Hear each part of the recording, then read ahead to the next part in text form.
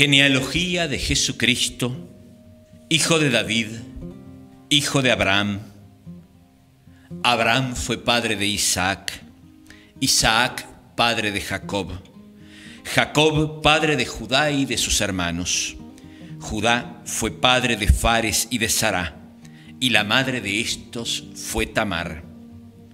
Fares fue padre de Esrón, Esrón padre de Aram, Aram padre de Aminadab, Aminadab padre de Naasón, Naasón padre de Salmón. Salmón fue padre de Booz, y la madre de éste fue Raab. Booz fue padre de Obed, y la madre de éste fue Ruth. Obed fue padre de Jesé, Jesé padre del rey David.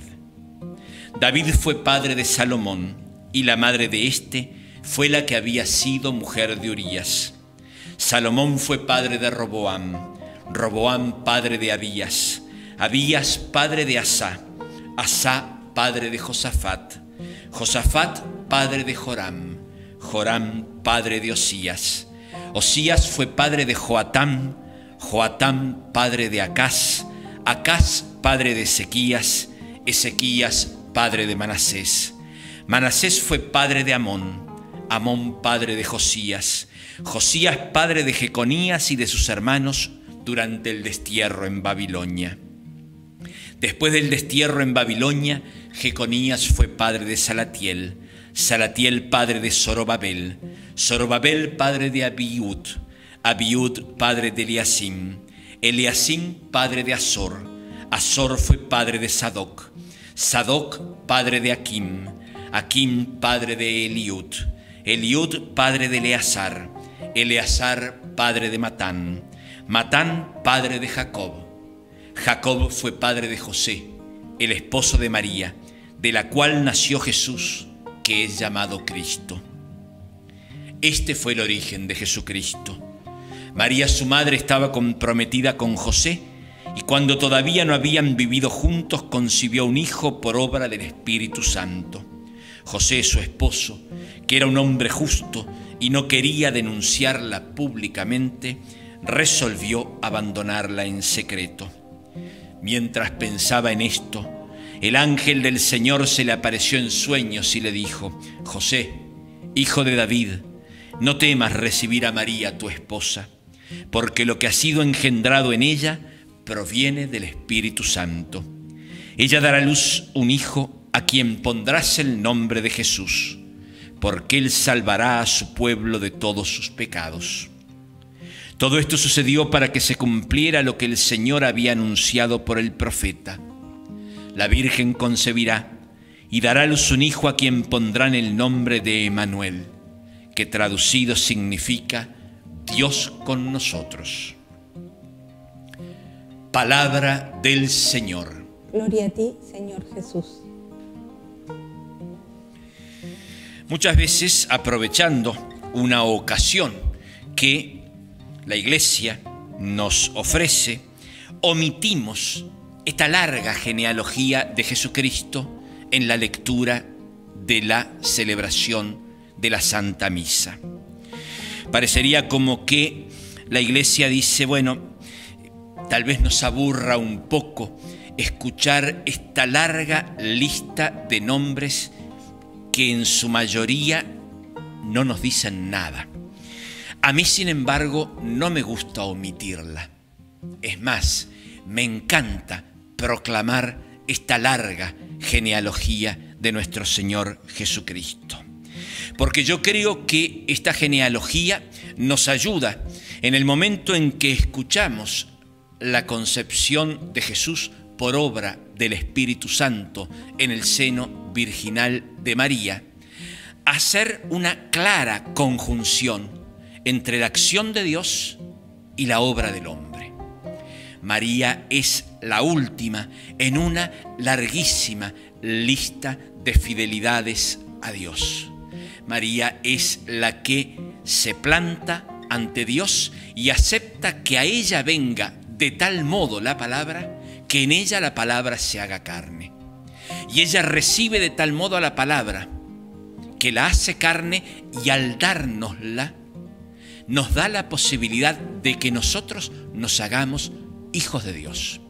¿Se acuerdan de eh, el prólogo de San Juan que leemos en otros momentos del año también, pero fundamentalmente en el tiempo de Navidad? Allí se nos dice que la palabra vino a los suyos y los suyos no la recibieron. Pero a quienes la recibimos nos dio el poder de llegar a ser hijos de Dios.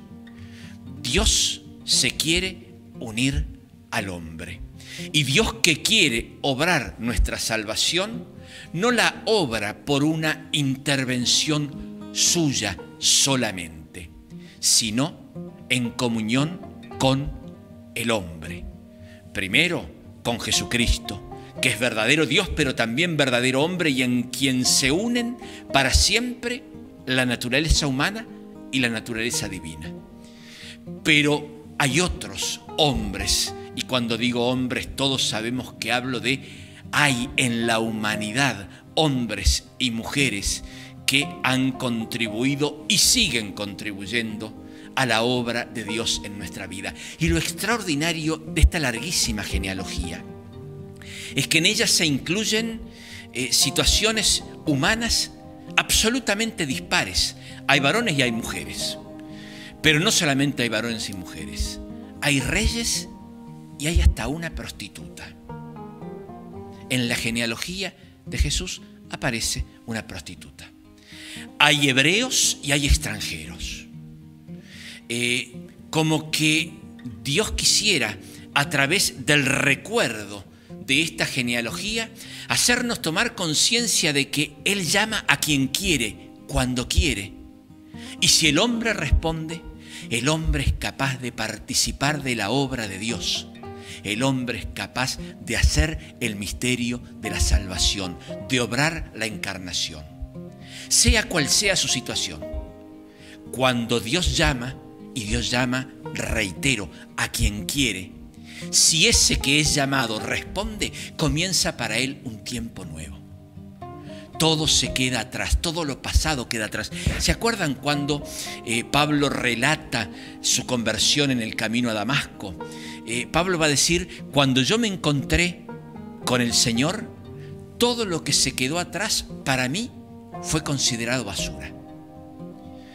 Pablo deja atrás su vida porque para él, con Cristo, todo comienza de nuevo. Por eso Pablo va a decir también en otra carta, el que está en Cristo es una nueva criatura. Qué maravilloso, qué maravilloso saber que Dios cuenta con nosotros, que Dios nos llama a nosotros, que Dios a nosotros nos elige y que nos elige no porque seamos buenos, nos elige porque Él es bueno. No porque seamos santos, sino porque Él es santo y quiere hacernos capaces de participar de su bondad y de su santidad. A todos, sin exclusión.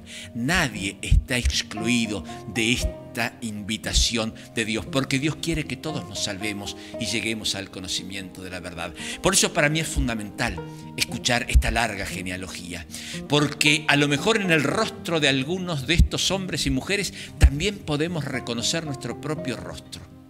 Y tal vez podemos llegar incluso a creer que de alguna manera nuestro propio nombre aparece en esta larga genealogía.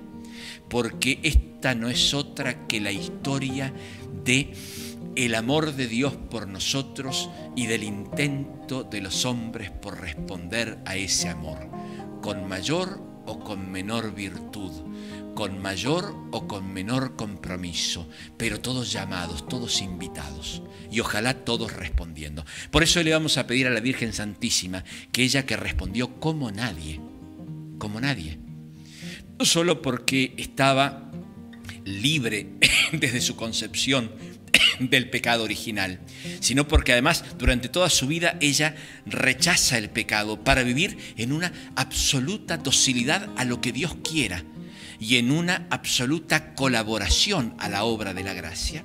A ella le pedimos que interceda por nosotros y que seamos quien seamos, estemos donde estemos hagamos lo que hagamos. Escuchemos que hoy nos dice, yo quiero que tú participes en la obra de la salvación. Yo quiero que tú seas parte de esta historia. Quiero que te integres en esta larga genealogía, ya no como antecedente de Jesús, sino como descendencia de Jesús. Somos la familia de Jesús. Dios se ha unido a nosotros y se quiere unir cada día más profundamente a nosotros, pero hay que abrir el corazón hay que estar disponible.